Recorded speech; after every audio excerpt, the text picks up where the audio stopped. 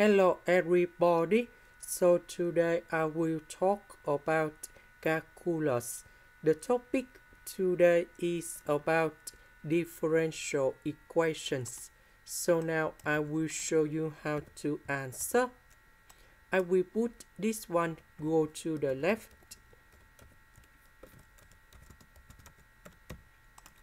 Next, we have y and first the derivative of y so we can use about integrating factor.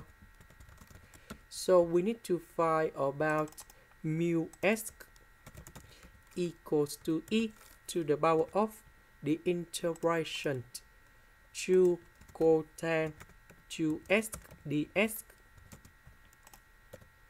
And we know that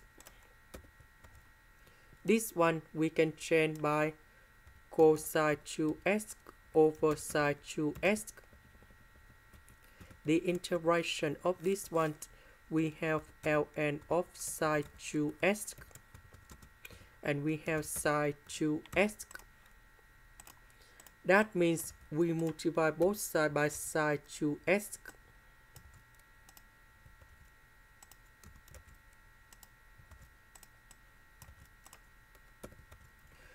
cosine 2x we change by cosine 2x over sine 2x and now we simplify.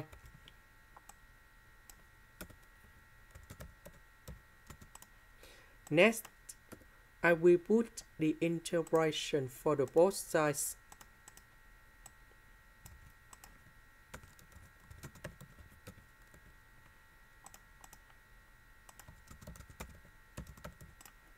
Next, we can use about the product rule of the derivative. So we have first the derivative of y equals to first the derivative of a multiplied by b plus first the derivative of b multiplied by a. So we have first the derivative of a multiplied by b. This one that is about first the derivative of sine 2x that's a for b multiplied by a. So the integration of this one we have y equals to ab so the integration of that one we have y sine 2x now I will concentrate on this one. So we can use about integration by parts. So I will put about u equals to s. Later that we do first the derivative for the both side.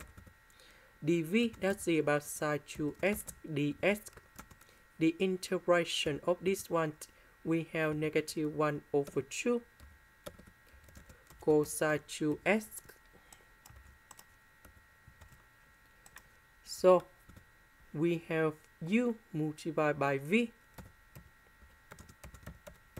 minus we have the u multiplied by v. So we have negative in here negative with negative. We have positive and we have the integration cosine 2x ds this one we have 1 over 2 sine 2x and I will put about c. And this one we have 1 over 4 sine 2x next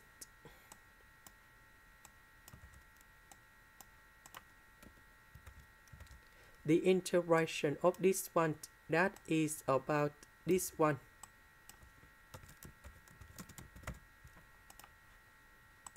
This is the end. Thank you for watching